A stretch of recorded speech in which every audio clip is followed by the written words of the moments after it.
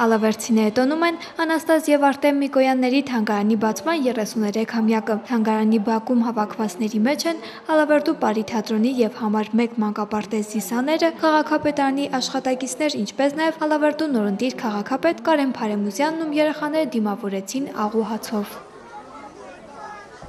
Թանգարանի բակում կազմակերպված փոքրիկ միջոցառման առաջին հերթին իրենց ոտանավորներով ու երգերով ներկայացան Ալավերդու համար 1 մանկապարտեզի սաները։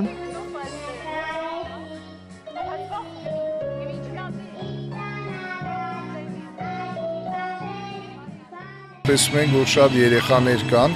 այսինքն քայլեր արվում նաև մեր պատմությունը պահպանելու, մեր պատմությունը տարածելու երեխաների միջոցով։ Շատ կարևոր է, որ մեր երեխաները փոքրուց ակունքից իմանան ով են իրանց կողքի ապրող այն հերոսները, այն մեծությունները, ու մենք ամեն ինչ կանենք, որպեսի մեր պատմությունը իմանան բոլորը ու առաջ երթին մեր երեխաները։ Միկոյանների թանգարանի տնօրեն Հայկու Շախբալյանի խոսքով թանգարանի բացման օրվան նվիրված միջոցառումներն ավանդական բնույթ են կրում։ Թանգարանի բացման օրն իր հետ միշտ տոնական տրամադրություն է բերում, նշում է Հայկու Շախբալյանը։ Շատ միջոցառումներ առանձնապես իմ թանգարանում չի լինում, բայց սա հատուկ չգիտեմ, սա ինձ համար տոնական է։ Այսօր ինձ համար սրբությունը, քանի որ իմ մայրս թանգանի հիմնադիրն եղել Նուշիկ Միկոյանը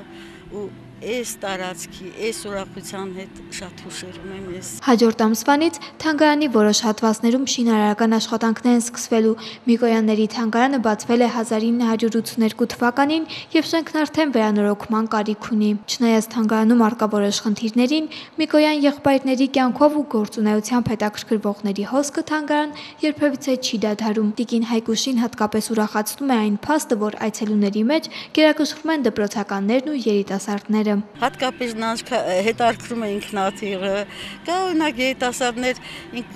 սիրում են բացատրություն լսել, չէ, երեխեքին ջահելության մեջ կա հետարքրումը։ Իհարկե վատը նա է, որ Նիկոյանների մասին գրականություն շատ քիչ կա արդյոմի, բայց երիտասարդությունը հատկապես շատ սեր ունեն ավիացիայի նկատմամբ։